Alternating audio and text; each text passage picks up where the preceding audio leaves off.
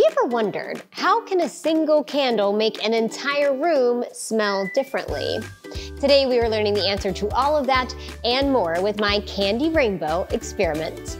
Hi, I'm Emily Calandrelli, an MIT engineer and host of Emily's Wonder Lab, and on my channel, we learn about all things space and science. So grab your candy, because things are about to get colorful. Emily's Science Lab,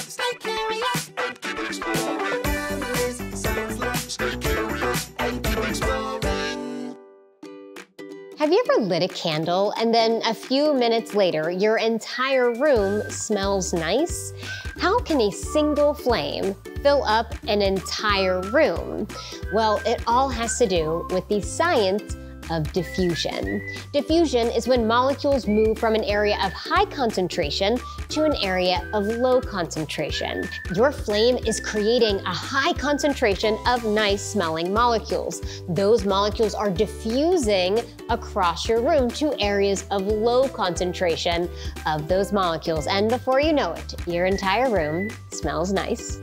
Today we are using the science of diffusion to create a delicious rainbow. For this one, you need a plate, M&Ms or Skittles, both will work, and some hot water. Now place your M&Ms or your Skittles around the outside of your plate. So now we are going to pour our hot water in the center of our plate. And the trick here is to do this very slowly. You want it to touch all of the M&Ms around the outside. And once it touches all of them, you can stop. So now we just wait and watch the rainbow happen. So what's going on here? Well, around your M&Ms is a color candy coating. Sugar, basically dyed sugar. And that sugar is moving from an area of high concentration on the M&M to an area of low concentration the water. So that's why all of the colors are moving towards the center because right here, there's no sugar, right? So they're all moving to an area of low concentration of sugar. But they all look like they're staying in their little lanes. What do the colors have against each other? Is there something weird happening there? Why aren't they overlapping and mixing?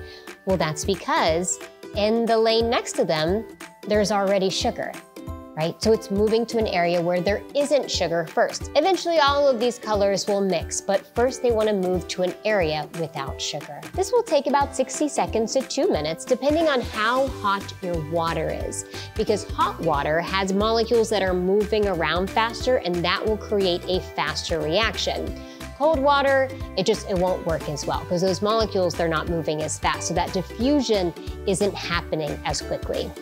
I'm so proud of my rainbow. It's so pretty. You can also experiment with different size plates here because my plate will take a lot longer to get to the center. So if you have a smaller plate, you can make that rainbow connect in the middle. You can also put your M&Ms closer to the center. Put the water on the inside, put the water on the outside, and see what happens. Thanks for making a candy rainbow with me. If you like this one, be sure to check out my best-selling Stay Curious and Keep Exploring series for 99 more science experiments. I'm Emily Calandrelli. Subscribe for all things science and space. And remember, stay curious and keep exploring. I'll see you next time. Emily's Science